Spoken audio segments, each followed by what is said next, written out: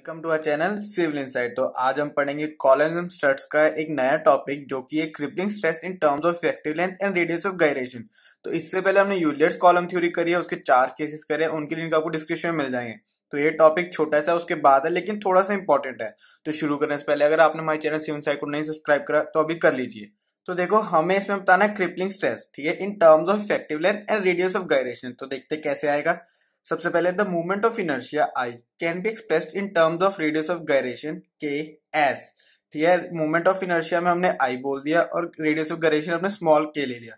तो हम इसको कैसे एक्सप्रेस कर सकते हैं एम आई को? तो देखो आई is equal to A k square where A is equal to area of cross section तो जैसे कि अगर एक कोई भी कॉलम है इस तरह तो उसका जो आपका मूवमेंट ऑफ़ इनर्शिया होगा वो क्या होगा आई इजकल टू ए के स्क्वायर ठीक है? ए के स्क्वायर जिसमें के हमारा क्या रेडियस ऑफ़ गायरेशन ठीक है, यहाँ पे आप मूवमेंट ऑफ़ इनर्शिया कुछ भी निकाल सकते हो, ठीक है? अब इसमें एक चीज़ आती है कि ना कभी कभी ना आपको ना ऐसे आता है, जैसे आई सेक्शन है, ठीक है? अब इसके एक्स एक्स एक्स एक्सिस पे भी आई मूवमेंट ऑफ़ इनर्शिया निकल सकता है और एक वाई वाई एक्सिस पे भी निकल सकता है, ठीक है? तो इसमें क्या होता है लीस्ट वैल्यू लेनी होती है हमेशा। तो यहाँ पे आप लिख सकते हैं कि लीस्ट वैल्यू तो लीस्ट वैल्यू लेनी होती है, वैसे आपका रेडियस ऑफ़ गायरेशन का भी लीस्ट वैल्यू आ जाएगा। तो इसकी भी दो वैल्यूज़ आ जाएँगी तो लीस्ट वैल्यू आपकी आएगी रेडियस ऑफ़ गायरेशन में, ठीक है? एक चीज़ तो ये होगी। अब अब आपने यूलियर्स थ्योरी में पढ़ा था कि जो हमारा नाउ क्रिपलिंग लोड जो हमने यूलियर्स थ्योरी में पढ़ा था in terms of effective length is given by L हमारे इफ़ेक्टिव लेंथ में मैंने हर एक केस में आपको लास्ट में करवाया ऑल्टरनेट मेथड कह के तो उसमें हमारा ये वाला एक्सप्रेशन आता था P square to pi square E I by L square तो ई यहाँ पे हमारा मॉडल्स ऑफ़ इलास्टिसिटी है। ये आपको क्वेश्चन में हमेशा गिवन होगा। इजिकल टू देखो अब क्या होगा देखो यहाँ पे आई की जगह मूवमेंट ऑफ़ इनर्शिया की जगह हम ये वाला फॉर्मूला डाल देंगे ए के स्क्वायर तो पाई स्क्वायर ई इंटू में A k square by L E square ठीक है? अब इसमें क्या होगा? के को हम नीचे लेंगे तो ये ओवरऑल हो गया। तो एल ई बाई के का ओवरऑल स्क्वायर ठीक है? होल स्क्वायर यहाँ पे हो जाएगा। अब ये जो एक्सप्रेशन आ गया, किसका आ गया? क्रिपलिंग लोड का आ गया, ठीक है? ये तो हमने एक बार क्रिपलिंग लोड का हम ये एक्सप्रेशन ले आए। ये भी आपको काम आएगा आगे। तो ये ऐसे हमारा क्रिपलिंग लोड आ गया, ये सी टी एम ये आपको याद करना है, ठीक है? ये आपको याद करना है। इन टर्म्स ऑफ़ क्या है? रेडियस ऑफ़ गायरेशन है। अब हमने कहा था क्रिपलिंग स्ट्रेस तो अब देखते हैं लोड तो आ गया। अब स्ट्रेस देखते कैसे आता है। तो देखो अब आता है the stress corresponding to crippling load is given by तो स्ट्रेस क्या होता है? देखो लोड अपॉन एरिया है ना? तो stress is load upon area तो crippling load upon area crippling stress लेना है। तो P बाय ए ठीक है? P अभी हमने निकाला था pi square E into A by L E by k का होल स्क्वायर ठीक है? Pi square E into A by L E by k का होल स्क्वायर ठीक है? ये आपका ऐसे आया था अब। अब इसमें बाय ए भी है यहाँ पे, है ना? तो बाय ए ऐसे और ए से ए ऐसे कट जाएगा। तो इस पे क्या आता है क्रिपिंग स्ट्रेस का हमारा पूरा फॉर्मुला आता है pi square E by L E by k का होल स्क्वायर ठीक है? एल ई हमारे यहाँ पे इफ़ेक्टिव लेंथ है तो एल एल ई में कर रहा हूँ, वो इफ़ेक्टिव लेंथ है।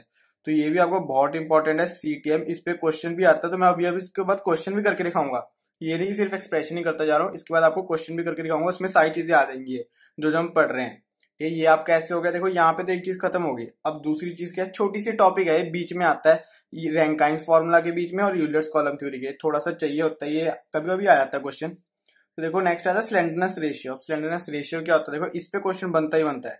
The ratio of the actual length of a column the ratio of the actual length of a column to the least radius वही बात होगी ना जो मैंने अभी आपको समझाई थी लीस्ट वैल्यू जो हमारी होती है।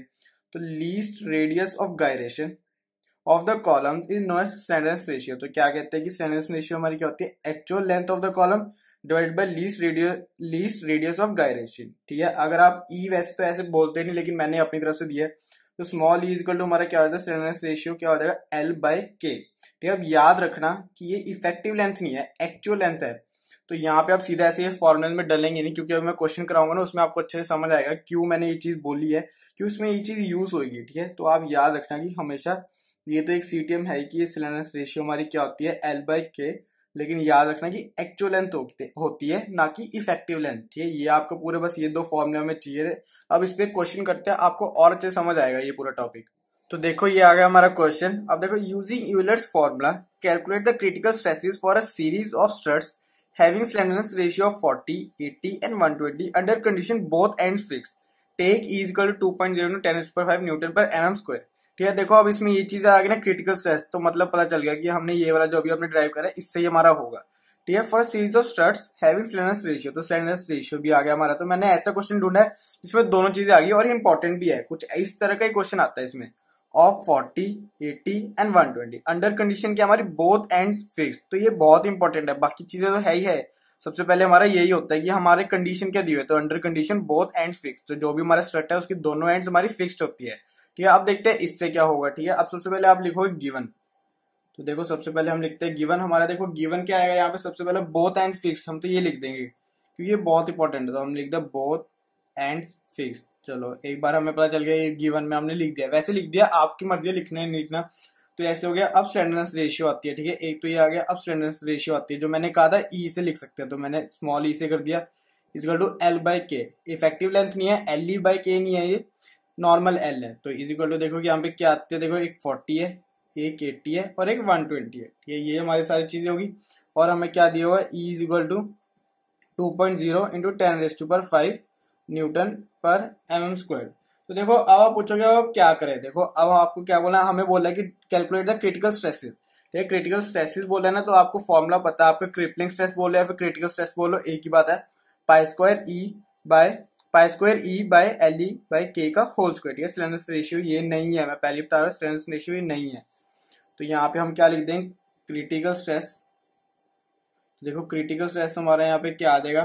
क्रिटिकल स्ट्रेस हमारा आ जाएगा pi square E by L E by k का होल स्क्वायर ठीक है? ये चीज़ आ गई। अब देखो, अब आएगा, थोड़ा सा मज़ा इसमें। अब कहा बोथ एंड फिक्स तो जब जब हमारे देखो बोथ एंड फिक्स्ड होते हैं है both end fix when both end fix है जब जब हमारी ये चीज़ होती है तो हमारा आपको पता है effective length is equal to L by two ठीक है? अगर आपको ये नहीं पता चल रहा है कि ये कहाँ से आया तो आपको लिंक डिस्क्रिप्शन में मिल जाएँगे। यूलियर्स फॉर्मूला आप देख सकते हैं। यूलियर्स कॉलम थ्योरी में चार वीडियोज़ है।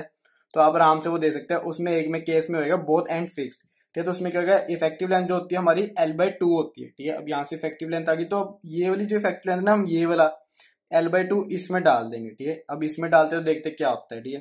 तो देखो, अब हमने इसमें डाल लिया एक बार।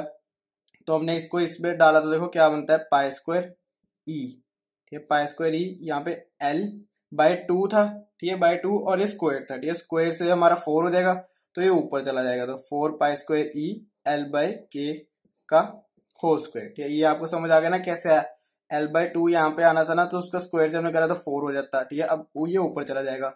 ठीक है, ऐसे ऊपर चला जाएगा तो four pi square E by L by k का होल स्क्वायर ठीक है। अब जो ये चीज़ बन रही है, ये हमारी अब क्या बन जाती है? अब बन रही है सिलेंडरनेस रेशियो ठीक है। अब हमारी बन गई सिलेंडरनेस रेशियो तभी मैंने सिलेंडरनेस रेशियो का आपको करवाया था, ये टॉपिक देखो एल बाई के और एल बाई के ठीक है। सिलेंडर रेशियो बन गई तो अब बहुत ही सिंपल हो गया। तो अब सबसे पहले हम फ़र्स्ट केस लिखेंगे अगर तो वेन हमारे क्या, अब ये वाला फॉर्मूला बन गया आपका, अब आपने ये वाला फॉर्मूला चाहिए, अब आपको ये वाला फॉर्मूला नहीं चाहिए, अब आपको इससे करना है, बहुत ही ईजी हो जाएगा अब तो ठीक है ना। तो देखो कैसे? देखो सबसे पहले कहा L by k when L by k is equal to forty ठीक है इज़ इक्वल टू फोर्टी जब हुआ तो इसका मतलब क्रिटिकल स्ट्रेस हमारा देखो क्या है? क्रिटिकल स्ट्रेस तो फोर पाई स्क्वायर है ना तो पाई स्क्वायर का थ्री पॉइंट वन फोर का स्क्वायर इंटू ई हमारा देखो two point zero into ten to power five divided by क्या आएगा? देखो एल बाई के का होल स्क्वायर है तो मतलब एल बाई के हमारा फोर्टी है तो फोर्टी का स्क्वायर हो जाएगा। तो हमारा फोर्टी का स्क्वायर हो गया। तो अगर आप इसको पूरा अच्छे सॉल्व करोगे तो मैंने करके रखा हुआ तो five zero five eight point one six newton per M M square. तो ये आपको अच्छे समझ आ गया ना, कुछ इस तरह होता है ये। तो अब सेकंड भी करके देख लेते हैं, एक बार एट्टी का करके देते हैं वन ट्वेंटी का आप करना, ठीक है? तो सेकंड हम करते हैं वेन वैसे तो सिंपल ही रह गया, अब तो कुछ है ही नहीं एल बाई सिंपल कैलकुलेशन करनी है, पर कैलकुलेटर तो आपके पास होता ही है तो बहुत ही ईजी रह जाएगा। तो four into pi square three point one four का square into E two point zero into ten to five तो ये कभी कभी आपको दो नंबर में भी आ सकता है, पाँच नंबर में भी आ सकता है, इसलिए कराना ज़रूरी था, क्योंकि इस पे क्वेश्चन बन सकता है। इसलिए मैंने करवाया, जिस पे क्वेश्चन नहीं बनता, उस पर मैं कभी नहीं करवाता मतलब कोई लेक्चर मतलब ज़्यादा अच्छे से नहीं कराता। तो देखो अब हमारा क्या सेंडेंस रेशियो एल बाई के का होल स्क्वायर तो यहाँ पे एट्टी है। तो यहाँ पे एट्टी का स्क्वायर ठीक है? अब यहाँ पे अगर आप इसको पूरा अच्छे सॉल्व करोगे तो आपको क्या बनेगा? One two six four point five four newton per M M square ठीक है? आपका ये अच्छे से बन जाएगा, पूरा आपका ये फॉर्मूला आ गया, ठीक है? अब आपको देखो थर्ड हमारा देखो क्या आता है। थर्ड भी आप करोगे, मैं तो सिर्फ़ लिख के रख रहा हूँ। When L by k is equal to one twenty ठीक है? तो अब आपको ये करना आगे, ठीक है? ये आप करना और कमेंट में बताना कि क्या आंसर है फिर मैं बताऊँगा आपको सही है नहीं। देखो, ये अच्छे से पूरा होता है। देखो, इससे आपको पता चलता है कि क्रिटिकल स्ट्रेसेस का भी ये जो मैंने आपको करवाया, ये कुछ ऐसे ही नहीं करवाया, इस पर भी क्वेश्चन बनता है। और इसी से हमारा ये वाला टॉपिक खत्म होता है, ठीक है? अब इसके बाद हम करेंगे रैंकाइन फॉर्मुला उसका भी लिंक आपको डिस्क्रिप्शन में मिल जाएगा। तो अगर आपको ये वीडियो अच्छी लगे तो प्लीज़ लाइक करना शेयर करना कमेंट करना और अगर आपने यूलर्स फॉर्मुला नहीं पढ़ा हो यूलर्स थ्योरी नहीं पढ़ी हुई तो उसका लिंक आपको डिस्क्रिप्शन में मिल जाएगा। चार केसेस आप आराम से पढ़ सकते हैं उन्हें। और जाने से पहले हमारे चैनल सीन को ज़रूर सब्सक्राइब करना। Thank you for watching